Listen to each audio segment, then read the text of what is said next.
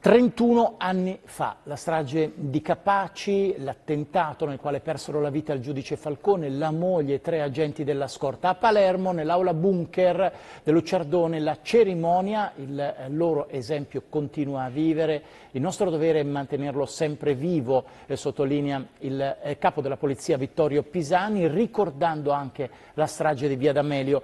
Dalle 11 appuntamento con lo speciale di Rai News 24 con Lorenzo Lobasso ripercorriamo quella giornata. Era il 23 maggio del 1992. Giovanni Falcone e la moglie Francesca Morvillo partono alle 16.45 da Roma, alla volta di Palermo, dove atterreranno alle 17.28.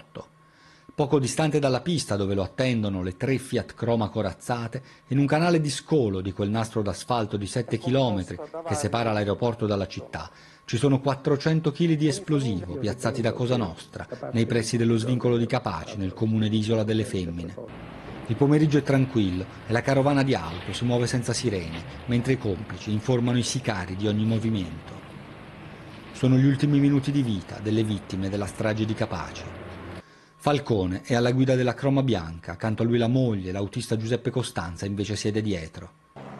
Nella macchina marrone ci sono Vito Schifani che guida, accanto a lui Antonio Montinaro, mentre Rocco Di Cillo è sul sedile posteriore.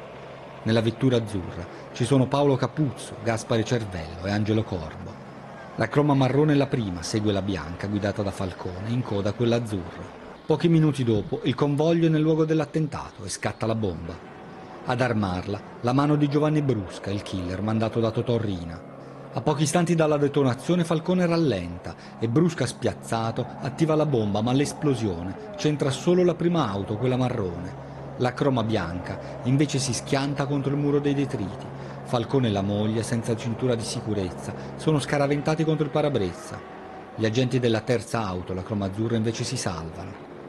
Altri veicoli sono coinvolti, una Fiat Uno con una coppia di austriaci e una Opel Corsa Rossa. Poco più di 20 minuti dopo l'esplosione, Falcone, gli altri agenti e i civili coinvolti sono trasportati all'ospedale. Alle 19.05, un'ora e sette minuti dopo l'attentato al civico di Palermo, dopo alcuni disperati tentativi di rianimazione, Giovanni Falcone muore.